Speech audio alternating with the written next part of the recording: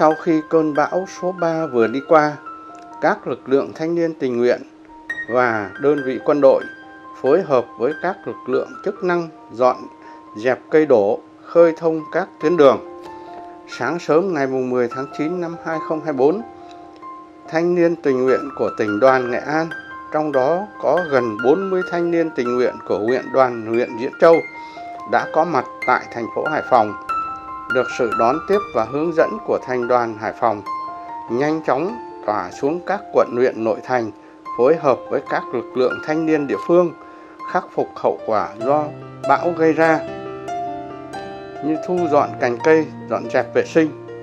Đặc biệt, đoàn thanh niên tình nguyện của huyện đoàn Diễn Châu đã gặp gỡ ban liên lạc Hội đồng hương Diễn Châu tại Hải Phòng, động viên và chia sẻ với bà con đồng hương Diễn Châu tại Hải Phòng vượt qua khó khăn, sớm ổn định cuộc sống. Ai về miền Trung nhớ ghé thăm quê tôi sẽ thấy thêm yêu một vùng quê xứ nghệ giọng người diễn châu pha màu sóng bể mảnh đất địa linh anh dũng kiên trung, người diễn châu tình thắm đậm sâu. Một lần đi qua, lòng vẫn vương nhớ về núi mộ dạ an dương vương thuở ấy. Ngắm biển cửa hiền, nghe thông hát reo vui.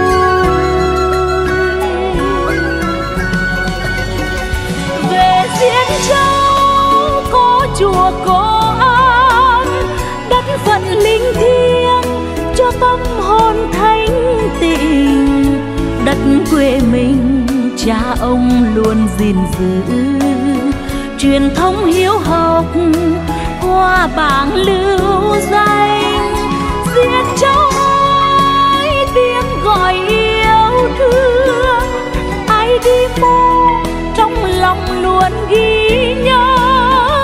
Lời mẹ ru bên dòng sông hiền hòa, để khi xa con luôn muốn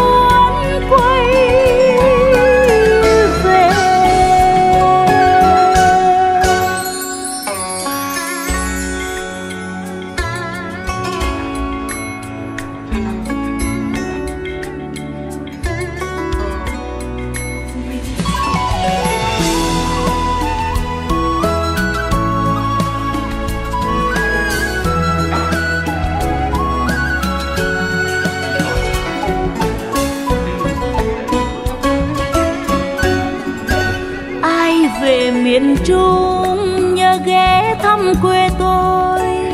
Sẽ thấy thêm yêu một vùng quê xứ nghệ. Giọng người diễn châu, pha màu sóng bể. Mảnh đất địa linh, anh dũng kiên trung. Người diễn châu tình thắm đậm sâu. Một lần đi qua lòng vẫn vương nhớ về núi mộ dạ an dương vương thuở ấy. Ngắm biển cửa hiền, nghe thông hát reo vui.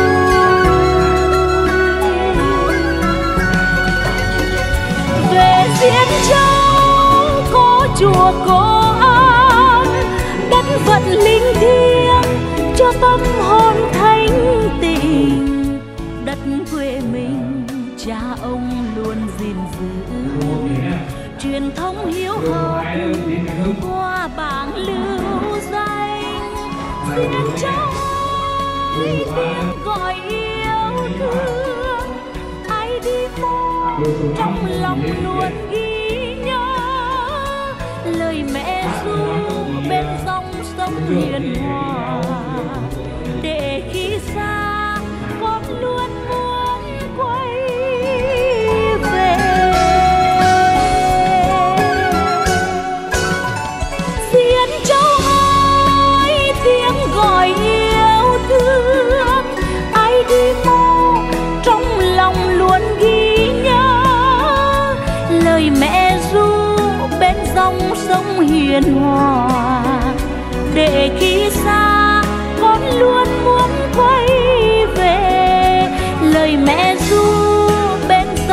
sống hiền hòa. Để khi xa con luôn muốn quay về. Để khi xa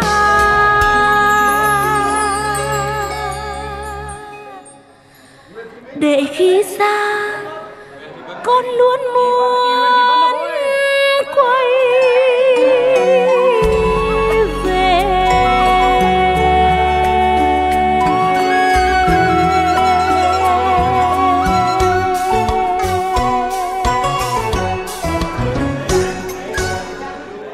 sau khi cơn bão số 3 vừa đi qua, các lực lượng thanh niên tình nguyện và đơn vị quân đội phối hợp với các lực lượng chức năng dọn dẹp cây đổ, khơi thông các tuyến đường.